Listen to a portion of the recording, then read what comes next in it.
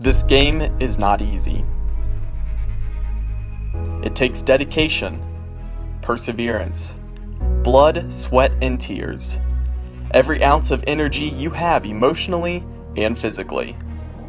Baldwin Wallace soccer is now a tradition of 50 years. The many greats before us have poured their hearts and souls into this program. Some won conference titles, some made NCAA tournament appearances, some came up just short, and others have battled through hard times.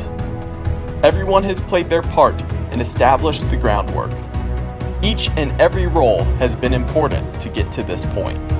That is the definition of leadership. That is the definition of greatness.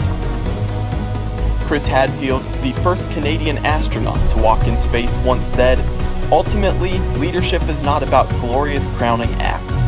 It's about keeping your team focused on a goal and motivated to do their best to achieve it, especially when the stakes are high and the consequences really matter. It is about laying the groundwork for others' success and then standing back and letting them shine. It's now time for a new group to shine. It's time for the team of 2019. This is our moment. This is why we are in the weight room all winter this is why we challenge ourselves with new playing opportunities. This is why we individually push ourselves to the limit. This is why we grind all preseason. And this is why we are here. To make a statement, to show everyone what we are made of. There will be those who doubt us, but united together, standing strong as a band of brothers, who's going to stop us?